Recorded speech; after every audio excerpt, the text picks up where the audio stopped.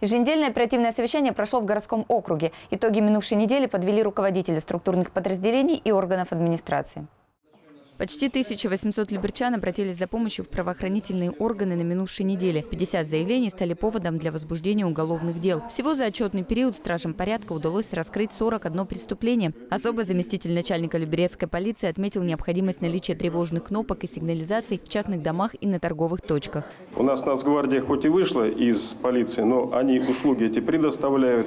Мы это делаем, поэтому, пожалуйста, еще раз обратите внимание на охранность как частной собственности, так и предприятий в целом. Пожарная обстановка в городском округе в целом спокойная. Это отметил Максим Катаев, заместитель начальника Люберецкого пожарного гарнизона. Всего за неделю произошло пять пожаров, в которых никто не пострадал. Дмитрий Шумский доложил о ходе выполнения губернаторской программы «Мой подъезд» в Люберцах. По его словам, на сегодняшний день в округе отремонтированы уже 860 подъездов из запланированных 1300. Он также подчеркнул, что городской округ Люберцы по этому показателю стоит на первом месте в области. Кроме того, на совещании была озвучена степень подготовки ЖКХ к предстоящему отопительному сезону общая готовность э, к ОЗП.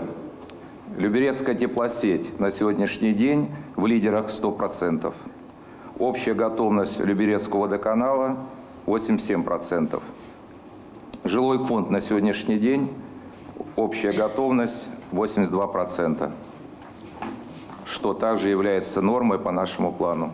На прошедшей неделе в муниципалитете производилась очистка полосы отвода, вывоз мусора и грунта, покос травы, а также проведена очистка межбарьерного пространства дорожного полотна и работы по ямочному ремонту. Для того, чтобы поддерживать городские улицы в чистоте и порядке, на минувшей неделе было задействовано 47 единиц спецтехники и 117 человек. Такие данные на оперативном совещании предоставил заместитель начальника управления дорожного хозяйства Егор Бунтин. Сотрудниками ГИБДД было выявлено 537 Э, нарушений правил дорожного движения и УКР 61 транспортное средство и выписано штрафов на сумму 727 тысяч рублей. Также на совещании обсудили вопросы комплексного благоустройства дворовых территорий, выслушали доклад об обращениях жителей, поступивших в единую диспетчерскую службу 112, а также поговорили об экологическом состоянии в городском округе. Мария Лапчева, Кирилл Евгеньев и Никита Скраган, телеканал ЛРТ.